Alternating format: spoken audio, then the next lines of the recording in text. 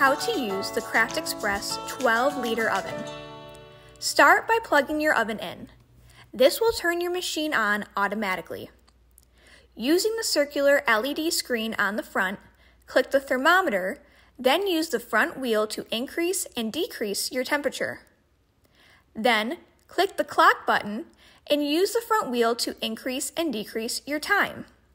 Click the play button to start heating up your oven. We are heating ours to 385 degrees Fahrenheit for 8 minutes. Wrap your substrate in a shrink wrap film. Once it is heated, your oven timer will start automatically. Place your substrate in the oven. Once it's done, remove your substrate from your oven, quickly remove your film, and reveal your finished product.